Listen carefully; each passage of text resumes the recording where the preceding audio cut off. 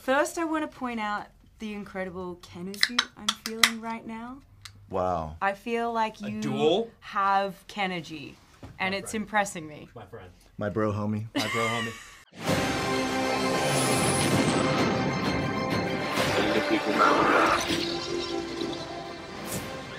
Where we're going, we don't need roads. May we offer you um, a Barbie, Please. Barbie swoon? This sounds. This is actually fantastic. And also, Can I it's have it? customary in Barbie land to wear. But I don't want to look too good. What's that? It's all about the It's too late, accessories, pal. though. Yeah. There Does we it- go. Does it work? I've got Oh, nothing. yeah. Hold on. Oh yeah. Do we know what a it is? High alcohol content, so just be careful. I am going to take these off because I want you to be able to stare into my eyes. Yes. Um, but guys, thank you for taking the time. I appreciate you. Thank you. Um, you know, I feel like one of the big takeaways for this movie is that like you can't be perfect all the time. In fact, sometimes your flaws and your imperfections are the best, most interesting things about you. What is your favorite flaw or imperfection of the person sitting next to you? I am not prepared for this. Me neither. Right out of the gate. Come on, you're our first whoa. one. First, I want to point out the incredible Kenergy I'm feeling right now. Wow. I feel like you duel? have Kenergy, and it's friend. impressing me. My friend. My bro homie. My bro homie. My kin bro. Uh, oh, that is favorite- boozy. Favorite flaw? It, he's he's She's such a too- Ken. He doesn't have any flaws. No. The pursuit Margot's flaw is that she has no flaws. yeah. And that's This is right. that's It's not annoying. fun. Yeah. It's kind of annoying. Well, you, you brought up the, the, the Kenergy in this room, which I do want to address because there are so many different types of Barbies and Kens over the decades. What type of Ken would you say that, that Ryan and I are, and what type of Barbie would you say Margot is, based on who you know her to be as a person? Oof. I would never tell Barbie what Barbie is. That is the first. That's That was a trick Rules question. being a of That was a trick question you Yeah, yeah, asked, yeah, sir. Wow.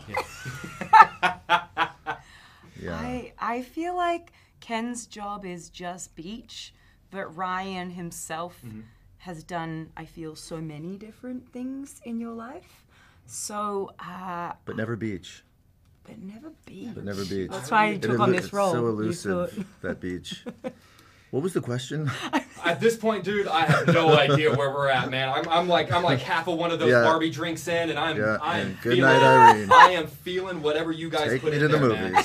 Oh my god, I'm feeling it. I do want to talk about the Barbie sleepover because I feel like anyone who went to grade school knows that you can learn a lot about someone over the course of a night, over the course of a sleepover. What is the most interesting thing you think your castmates learned about you Mm. by the time that sleepover was over? I mean, you'd have to ask them that. I don't know what they learned about me, but what I did learn about some of them is there are two people in the group who are extremely competitive. We played games. We were in our pajamas having a slumber party, as you do, and uh, we, we were like, let's play games. This will be so fun.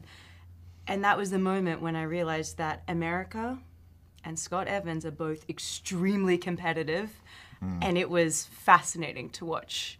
It was um, particularly hilarious because America, her pajamas was so cute. She looked kind of like a little like three year old, like a toddler, because she's also so teeny tiny. But then she was like shouting at all of us to play the games properly, and the whole thing. I felt I, I was I was so um, impressed, and it's it takes a sleepover for you to know To some know things that. like that. Can we have a Ken sleepover? Can we do like a and then and then we can have our own secrets so we don't tell them? We don't have a place to go as Kens. No, with that attitude. Yeah. but there's no house for us That's to. true. There's Yeah. no. Yeah. Greta, nowhere Greta for us and to I congregate, Like, we know? like to joke that the Kens just go inert at, at like sleep Yeah. time. They're just like on the beach staring off into the distance while we get in a, you know get into bed in our dream houses. I'm houses. glad that's funny to you. No, so this is a weird way to start a question, but Kevin Bacon told me one time that whenever he goes to a wedding, he will go to the DJ immediately and tip them to not play Footloose because he doesn't want to be put in that situation where the song plays That's and everyone just like leans forward and looks at him. So I want you to imagine for a moment that you're at I a never wedding. thought about the pressures that would be on Kevin Bacon Yes, at a wedding, but that's so valid. So I was wondering if you could imagine for a moment being at a wedding. You're having a great time. With the Kevin DJ Bacon. Kevin Bacon may or may not Is be. it Kevin Bacon's I wedding? sure It's not Kevin Kevin Bacon's wedding. Because They he's- haven't played Footloose. Okay. But all of a sudden you start hearing, Mm-hmm. and everyone turns to look at you. Right. What do you do? And are you prepared for that moment? That moment has already happened to me once. No. You ready? What happened? I kind of couldn't believe that I wasn't prepared for it, and I wasn't prepared for it. It was kind of like when everyone sings "Happy Birthday" to you on your birthday, know what to and you you're kind of like, I can't sing it because I'm. It's my birthday, but if I, I don't want to look ungrateful, but I'm also deeply uncomfortable right mm. now. and you're trying to be a good sport, but does that make you look weird and vain? I don't know. There was no winning. What did you do? I, I, um, I was so mortified. I think I kind of blacked out and came to once the song was over, and I was like, "Oh, well, that's over. I guess It's I like a should- four and a I'm half gonna minute brace long song." myself for the next time that happens, so I handle it better." Got you. Fair enough. Guys, they're giving me the wrap. I love you with all my heart. Thank you for making such an incredible film. Thank you for that. And uh, Don't thank you always- I will not. I'm taking an Uber Okay. back.